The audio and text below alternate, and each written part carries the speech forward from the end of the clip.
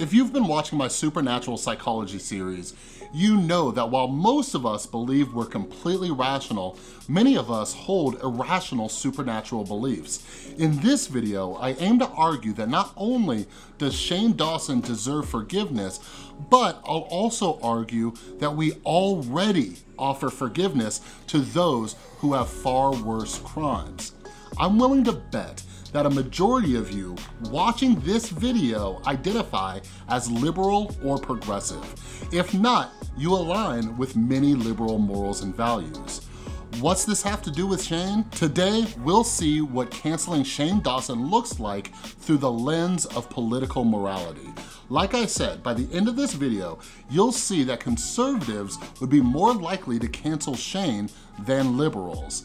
If you remember, when Shane and Ryland first got engaged, a conservative Christian went viral for saying that Shane and Ryland were going to hell.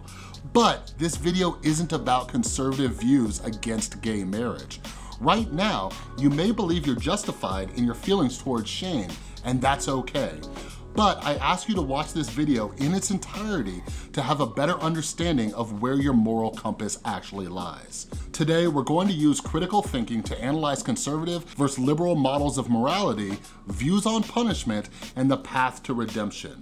Remember, a major part of critical thinking is improving our emotional intelligence, and we become irrational when we allow our morality to shift based on present moment emotions. But before we get started talking about morality, if you're new to The Rewired Soul and you enjoy critical thinking and improving your mental and emotional well-being, make sure you subscribe and ring that notification bell.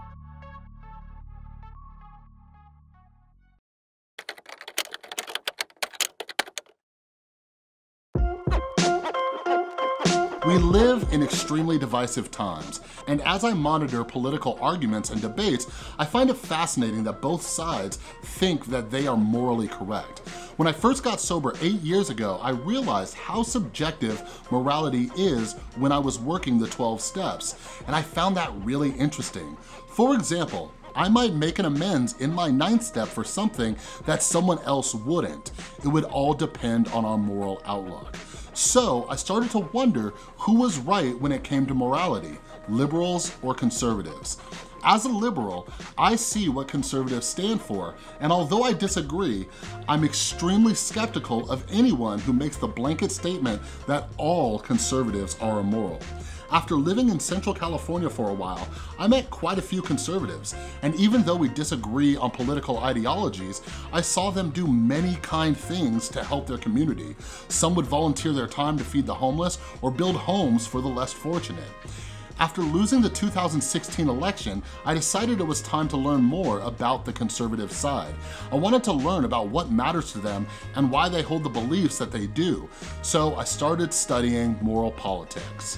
Some of my favorite books include Moral Tribes, Emotion, Reason, and the Gap Between Us and Them by Joshua Greene, and The Righteous Mind, Why Good People Are Divided by Politics and Religion by Jonathan Haidt. But recently, I just finished the book, Moral Politics, How Liberals and Conservatives Think by the cognitive linguist and philosopher George Lakoff. For the purpose of this video, I think Lakoff's view on moral politics fits perfectly with our analysis of Shane Dawson and cancel culture in general. George Lakoff argues that the best way to understand how liberals and conservatives think is by looking at their ideologies through contrasting styles of parenting. Lakoff teaches us that while liberals use the nurturant parenting model, conservatives use what he calls the strict father morality. Now, for a moment, I want you to think of the characteristics of a nurturant parent compared to a strict parent. Feel free to leave a comment down below with characteristics that you came up with, but here are some of the ones that George Lakoff lists.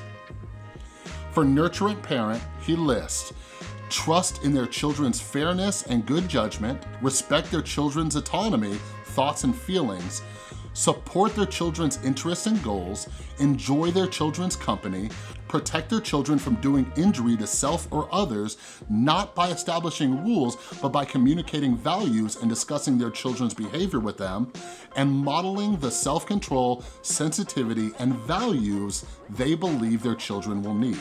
For the strict father model, they believe that children learn through reward and punishment, as in operant conditioning. Corporal punishment, such as spanking, is favored in this model relative to other models. They also believe that children become more self-reliant and self-disciplined by having strict parents. And finally, they believe that the parent, particularly the father, is meant to give out rewards for good behavior as well as punish bad behavior. Isn't this interesting?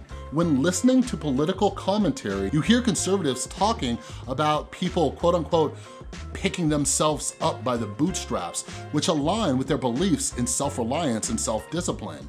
And the strict father is the type who inflicts much harsher punishments, and this is something that we'll dive into more in the next section.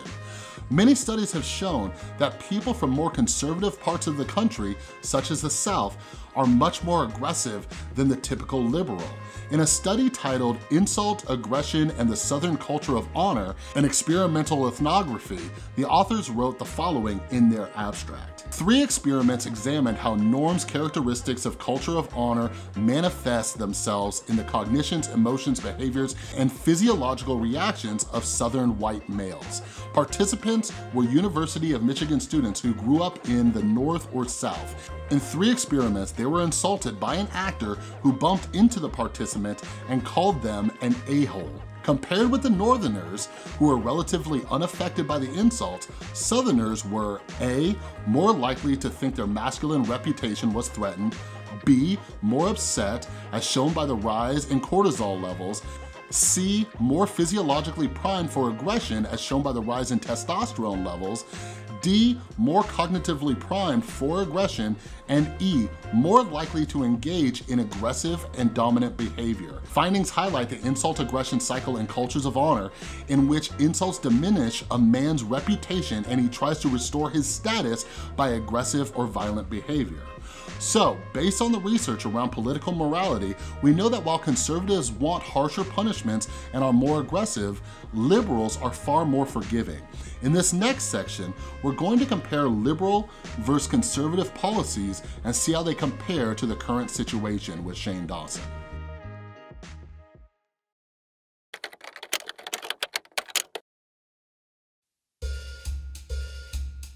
It's election year, and one of the biggest challenges our country faces is voter suppression.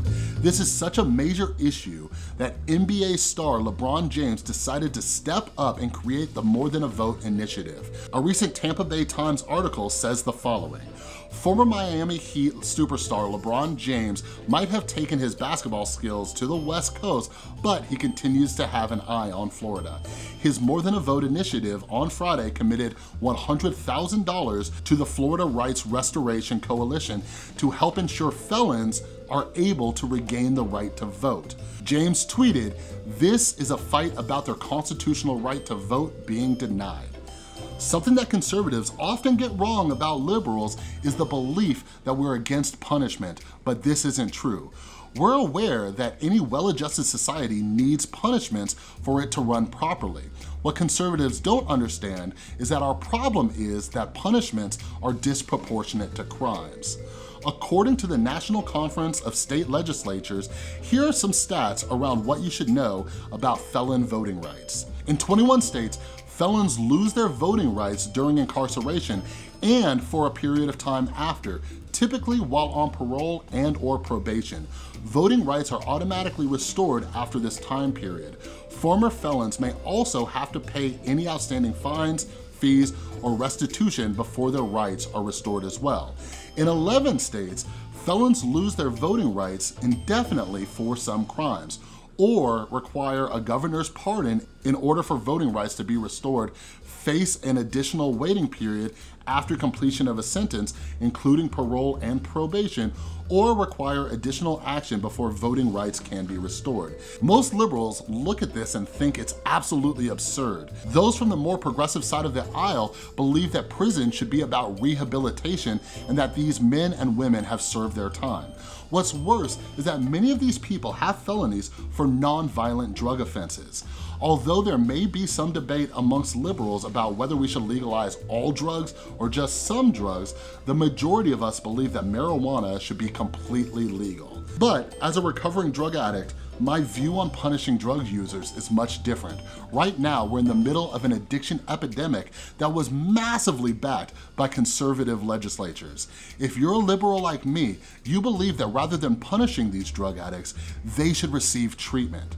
People like you and I know that most drug addicts are self-medicating a mental illness. You and I know that if we hope to rehabilitate people, we need to provide them with care and support and not stricter punishments. So, for a moment, I want you to pause this video and ask yourself, should felons have the right to vote? If the answer is yes, I want you to think about why you think that. My guess is that based on your nurturant parent model of liberal morality, you believe people can change and deserve a second chance. So now, in this final section, let's take a look at Shane Dawson's situation through the lens of political morality.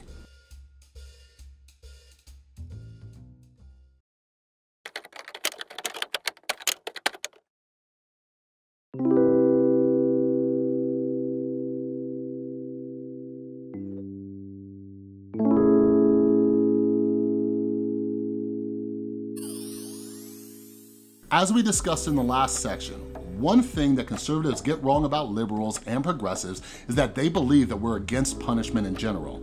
Well, one thing that liberals get wrong about cancel culture is they believe canceling someone is a punishment that's proportionate to the crime. Now that you know a little bit about liberal versus conservative morality, let's discuss Shane's transgressions.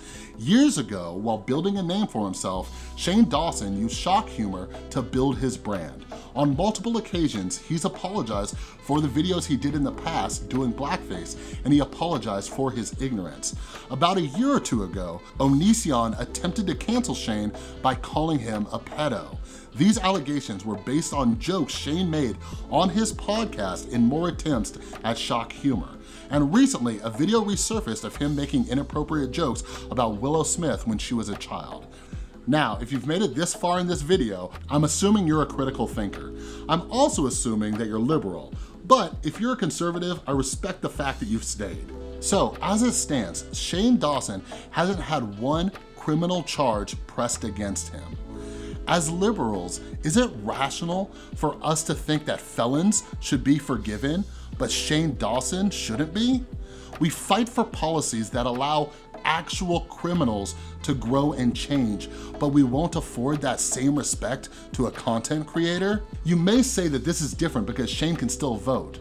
Maybe, but let's look at the job opportunities for felons. One of the worst parts about having a felony isn't just voting, but it's difficult to get a job. Those with a felony have a difficult time supporting themselves and their families. Is this right? Is it justice that a felon who served their time and wants to turn their life around can't work?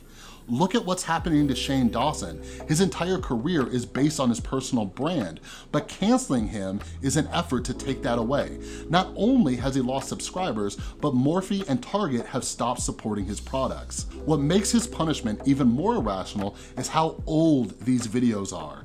In my opinion, if someone can turn their life around from committing thefts or other crimes, then I think Shane Dawson has also been able to grow in the last 10 years. Imagine if we kept kept pointing to an ex-felon's past as a way to judge who they are today like conservative laws currently do.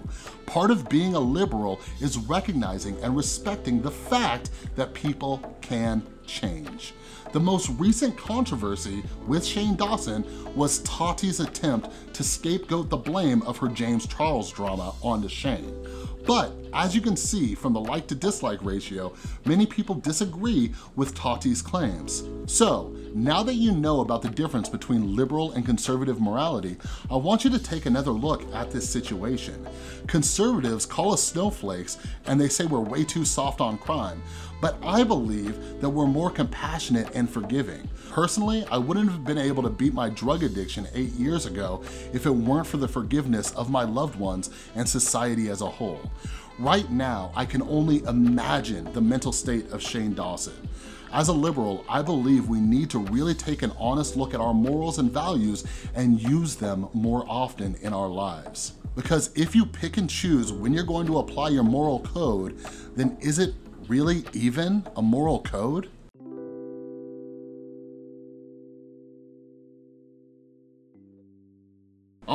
Everybody, thank you once again for making it through one of these video essays.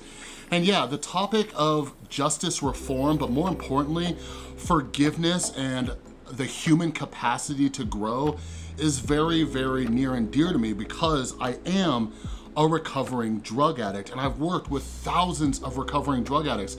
I know so many people who don't wanna change because they figure, how's it ever gonna get better? Nobody's ever gonna forgive me for what I've done.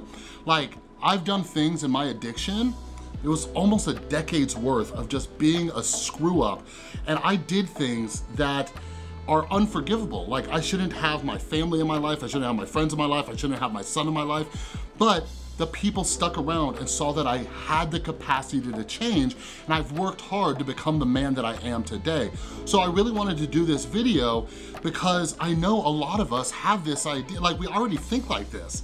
We think that people who committed crimes when they were younger have the capacity to change. We think that people deserve uh, you know, rehabilitation and people deserve a path to redemption.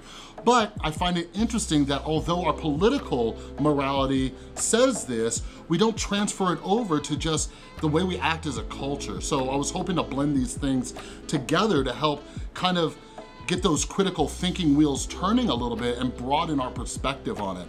You know what I mean? But anyways, that's all I got for this video. I hope you liked it. If you did like it, make sure you give it a thumbs up. And if you're new, make sure you subscribe and ring that notification bell. And I wanna send out a huge thank you to everybody who supports the channel over on Patreon or buys my books at therewiredsoul.com or gets merch from the merch store. Or if you ever wanna get the books that I recommend, they're always down in the description. Those are affiliate links. So if you get the books with my links, a little bit comes back and supports the channel and what I do here. All right, thanks again for watching.